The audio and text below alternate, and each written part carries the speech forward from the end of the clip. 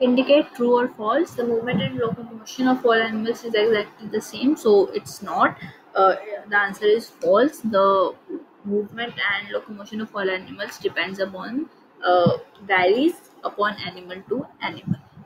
The cartilages are harder than bones so no uh, bones are harder than cartilages. The finger bones do not have joints finger bones does have joints. The forearm has two bones true it has uh, cockroaches have an outer skeleton and it's also